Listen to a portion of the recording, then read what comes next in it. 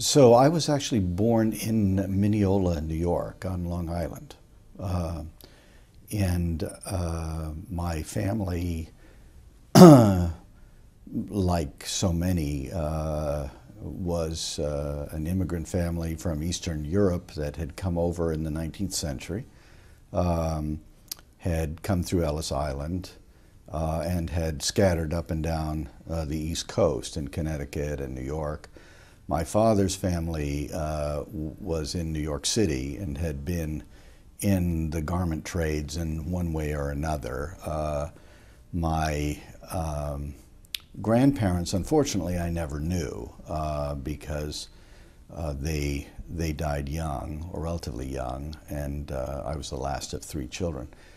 Um, and my father was uh, uh, someone who was very interested in the machinery actual, actually that was involved in the sewing industry and had been involved in that in New York City and had the opportunity when I was uh, a young boy to move out to Colorado to represent uh, the Singer Company and to create his own business, which was uh, actual sewing machines and the machines that work with sewing machines, folders and other kinds of things that enable fairly complex sewing patterns. Uh, and so he did that, moved out there um, first by himself, and then we in the family followed him.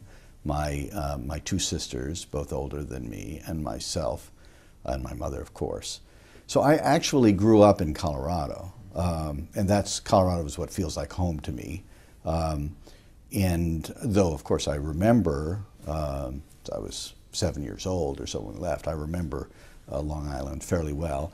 Um, but but what I'm my life in Colorado, uh, in the western suburbs of Denver, what is now really the western suburbs, but at the time was a much more rural environment, uh, was kind of a boy on horseback. I mean, it really it really was um, uh, a time when the city was expanding a lot. My father's business was expanding a lot. He had the opportunity to catalyze the development of some important companies. Um, at that time, the company that would be Samsonite uh, was uh, interested in devices that could be used to, to sew uh, luggage, uh, the Shwayder brothers at the time, and um, and similarly, um, uh, something that became uh, Gerry Mountain Sports, Gerry Cunningham in Boulder, uh, had come back from uh, the Army after World War II, um, having been